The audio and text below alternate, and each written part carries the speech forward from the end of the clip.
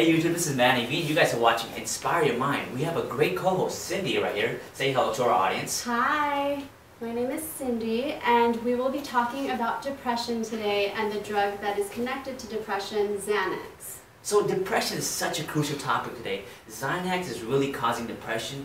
Even special medication used for acne can cause depression. It's killing your health, it's killing your mindset, and it's something that we need to really focus on in real life.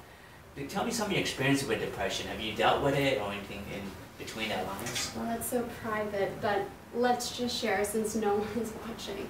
Just kidding.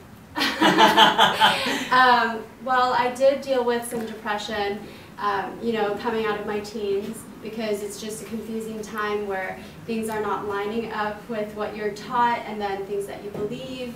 So you come into this emotional state where you feel like beaten down a little bit. And I do have friends who went through the same thing, so it is very common.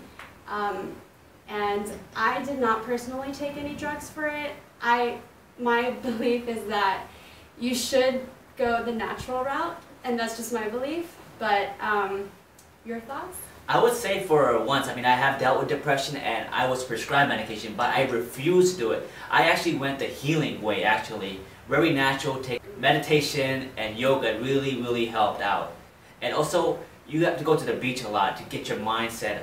A good recommendation is try to read a lot of positive books. That really helps out. Tony Robbins is one of my favorite. Anything you like to add? Um, yoga, definitely. Hot yoga. it's good for your mind, good for your body. You feel good about yourself.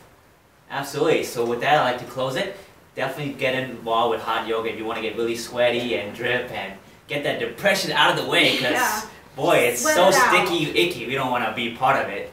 Well, I want to thank you again for watching our shows. Stay tuned for more episodes. Till then, enjoy.